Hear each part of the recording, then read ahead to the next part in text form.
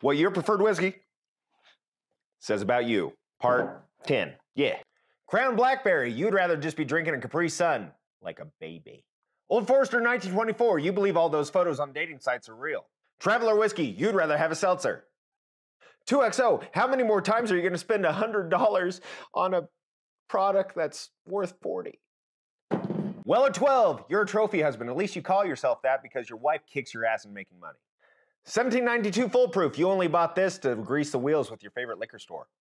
It's okay, baby. I believe that you'll be there. You'll be great.